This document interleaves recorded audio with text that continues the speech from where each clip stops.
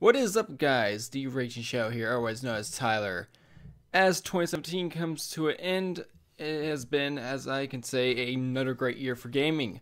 Uh, we had a lot of big hits, a lot of surprises, but with the end of the year, we also had a lot of disappointments. So this year, before I do my uh, top 10 list, I decided to probably go and do a top 5 most disappointing games of 2017. These are the 5 games that disappointed me the most personally. Maybe you liked it, or maybe you liked the game in general, and a lot of other people didn't. I just didn't like it. But this is going to be my own personal list of 5 games from this year that I was hyped for, and it kind of just disappointed me. So, we're going to start off with number 5. Middle Earth Shadow of War. Oh boy, WB thought they had fooled us with this game. Shadow of Mordor was met with exceptional praise when it was released in 2014, purely for its fun Batman Arkham style combat and the introduction of the Nemesis system. So when Shadow of War was announced earlier this year, well we were all looking forward to it, weren't we? Until the bad news started rolling in loot boxes would be making their way into this single player game. Oh wait, but it has a online PvP mode with forts, so now it's technically a pay to win system. Uh, regardless, to this day, of how balanced the system is said by people, it is very obvious that this game did not need microtransactions, but were forced in anyway by WB because they thought they could get away with it and make a quick buck. Then you had the free Or character DLC, which was supposed to be a tribute to a dev who passed away. And people had to buy the DLC, and some of the portion of the income would go to the family, unless you weren't in the US, in which case it would go to WB, even though they tried to tell people that that wouldn't be the case. And then they had to make the DLC free and offered other ways to give money to the family, like it should have been in the first place.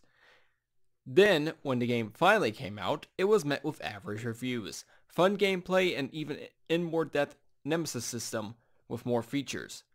But a story that was somehow worse than Mordor's. Repetitive missions. I couldn't even be bothered to beat the game myself. I probably got to Act 2 and just couldn't because it was just repetitive. Go to this fort, kill the leader of that fort. Now go to the other fort, do the same thing over and over and over. The game also had its case of lore issues. Now, the game had a case, the, the series of Shadow, or Middle Earth, Shadow of whatever, had its case of lore issues in Mordor, but people overlooked it. But when it came to characters like Shelob, the giant spider, suddenly becoming a half-naked woman, then that's when people drew the line.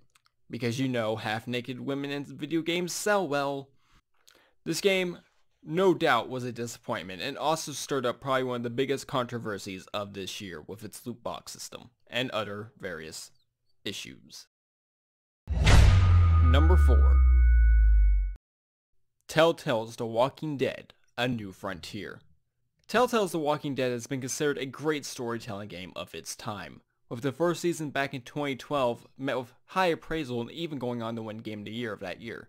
Season 2 in 2014, while not necessarily a disappointment, definitely didn't live up to its predecessor. The Walking Dead A New Frontier, or Season 3 as I like to call it, is the disappointment of this franchise. The first sign was when Telltale decided that Clementine, the little girl you've watched grow and guide on her journey, would not even be the main playable character. Instead we got Javi, who... What's so great about Javi? Season 3 is met with such an uninteresting story full of forgettable characters, with Clementine stuck in the back seat, very rarely interacting with her or just playing through her short flashbacks. Great idea, Telltale. You know they realized our mistake when at the end of the season, a text saying Clementine's story will continue pops up. This game is the utter definition of your choices don't matter. Because, well, they don't. Number 3. Outlast 2. Outlast 2 had such a high chance of being the best successful horror game in the Outlast series, but it just didn't hold a candle to Outlast 1. While the setting was definitely different from the old insane asylum of the first game, that's about all it has going for it. The villains and the creature that hunt you in the game are almost completely forgettable when compared to the likes of Chris Walker, the twins, and Trager from the first game.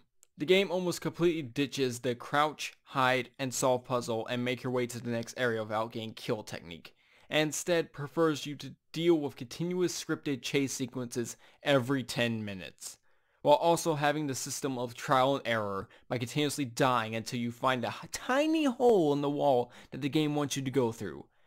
They try and give more character to the main protagonist and even his wife, but they're just so boring and average you don't even remember their names or caring at all about them. The ending is almost as insulting, if not even more insulting, than the first game's ending. I hope that if they ever decide to do Outlast 3, they learn from the mistakes of 2, and try and build upon this very potential horror game series. Number 2. For Honor. This game had so much potential, and Ubisoft pulled a Ubisoft. With continuous server issues like most Ubisoft games, a add-on campaign that I called from the start that was just a tack on to try and justify the 60 bucks that you completely forget about and almost just basically serves as a tutorial more than an actual story. Balancing issues with players able to just completely annihilate other players depending on the gear they have or the cheap tactics they use to win. shove, hit, shove, hit, shove, hit. It is such a sad image that this game looks the part of having just the potential to be this great, outstanding game. And then Ubisoft just like not even being able to comprehend how to actually work with the game.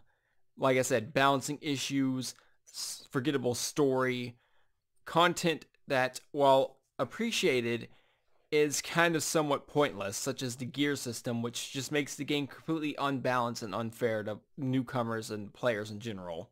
I wanted to love this game so much. I continuously try and go back to it every few months to play it, but I just can't bring myself to play it longer than a day. Because of, like I said, the balancing issues, the continuous server errors, they're just now getting dedicated servers on the game. Why was this not a thing at launch? Uh, it's, it really is painful to watch how this game, which it's incredibly fun. I'm not to lie. It is a really fun game. I love the whole aspect, the Vikings versus Samurai versus Knights aspect. And the combat itself is challenging and fun and easy to learn though. But god damn it, Ubisoft, you had to fuck it up. And my most disappointing game of 2017 is EA Star Wars Battlefront 2. Oh boy, where do we start with this one? Alright, just for those you don't know, because I did a similar video on a beta of the original EA Star Wars Battlefront back in 2015, kind of giving my thoughts, and I even included it in my disappointing category of my top 10 games of 2015. But, but just a brief history. I love the original Battlefront games. 1 and 2 are some of my favorite games of all times, and just my top Star Wars, favorite Star Wars games of all time. So you can imagine how disappointed I was when DICE got hold of it back in like 2015 and managed to completely ruin it and release a half-finished game of a mess. So when Battlefront 2 was announced, or EA's Battlefront 2, sorry, I honestly kind of had hope for it. They were including space battles, a campaign, we were getting the prequels and the current trilogy uh, of like the First Order and the Resistance and all that. So there was so much potential. There was like there was like a lot of content coming, and uh, you know, free DLC announced and no season pass. It was like, holy crap, is EA really doing this? This is outstanding. And then you get into the beta and oh my gosh, there are loot boxes. It is essentially pay to win.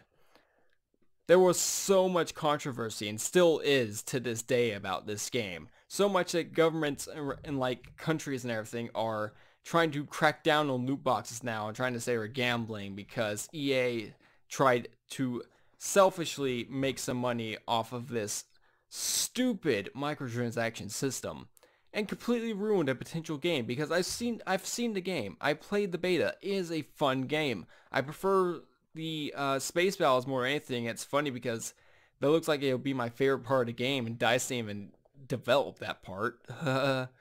but I, I refuse to outright get the game because of this stupid system. And then it turns out the story is disappointing, coming in at like 4 to 6 hours and not even adding anything to the actual Star Wars world. It is such a shame. They had the potential. Everything was looking so good. And then you kind of get in between the cracks and you open it up and you see all the disgusting stuff in it and you're like, wow, this game is just wow. Great job, EA. You had so much potential, but your greediness got the better of you and you ruined a potential rescue of the series. There's so much more I could go into depth about why this game was just such a disappointment, but there are already countless videos on YouTube and the internet in general about why this game was such a disappointment, and is a prime example of what happens when you get too greedy.